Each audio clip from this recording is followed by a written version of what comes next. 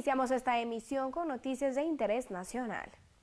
Sobre el puente fronterizo será inaugurado por autoridades nacionales y mexicanas la primera fase de construcción de la interconexión ferroviaria México-Guatemala.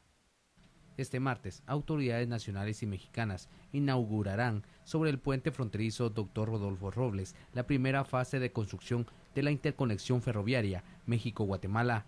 El costo del proyecto inicial ronda los 1.1 millones de dólares. La extensión sería de 1.3 kilómetros hasta la terminal de ferrocarriles de Guatemala en Tecumumán, San Marcos. Porque lo que se busca es la reactivación económica de la región sur de Guatemala, que se reactive la economía del país y que recuperemos la red ferroviaria. Como ustedes lo podrán ver acá, este es los planos de nuestros trenes que tuvimos desde hace 130 años, pero que entraron en desuso, que entraron en eh, una serie de saqueos y robos de rieles.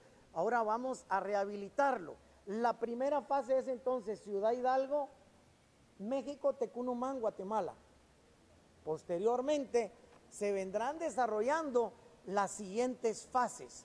Pero lo principal el día de hoy es decirles a ustedes que el proyecto de interconexión ferroviaria México-Guatemala se inicia con buen pie. Rothman dice que existe interés de empresarios en la comercialización de productos automotrices, químicos, agrícolas, metales, entre otros. Se proyecta que para finales de marzo del próximo año inicie el intercambio de carga entre ambos países por dicha vía.